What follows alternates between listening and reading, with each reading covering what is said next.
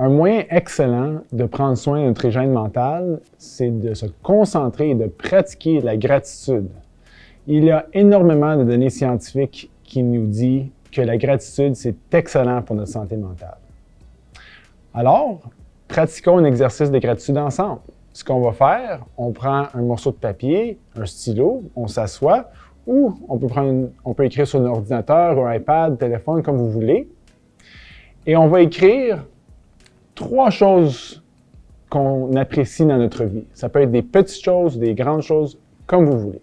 On écrit trois choses qu'on apprécie. Après avoir les écrire, on prend un moment de les relire et on prend une pause à chaque item que vous avez identifié. Et on prend le temps de ressentir la gratitude pour la chose que vous avez écrite. Même si c'est juste un petit peu de ressentiment, c'est pas obligé de la, la grosse sensation, juste un petit peu de ressentiment à chaque chose que vous avez écrit et de ressentir la gratitude. Pratiquez la gratitude à tous les jours et essayez d'écrire trois nouvelles choses à tous les jours. C'est une façon excellente de pratiquer notre hygiène mentale.